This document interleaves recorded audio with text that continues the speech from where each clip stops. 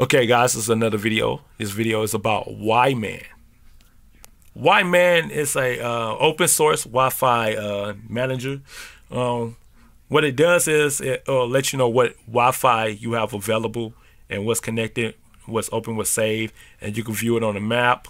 Um, it'll also give you uh, locked Wi-Fi's that you'll have to actually unlock, and then if you want to become an admin, um, you can you can take control uh, when you're connected so you can allow other people to use that particular Wi-Fi with the password.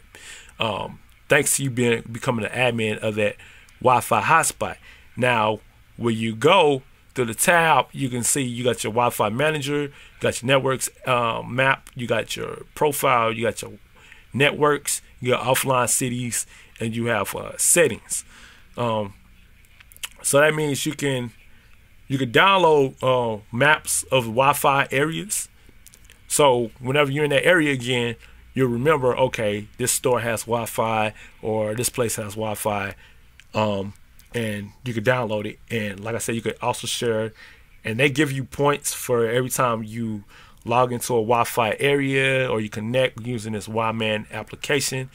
And that's pretty much um, what it's about. You can also let people know about this application so you can go tell a friend and uh, things in that sort. So that's what WiMan is all about, guys. If you want know more information, please leave a comment below. Subscribe to the channel, share the video, and like.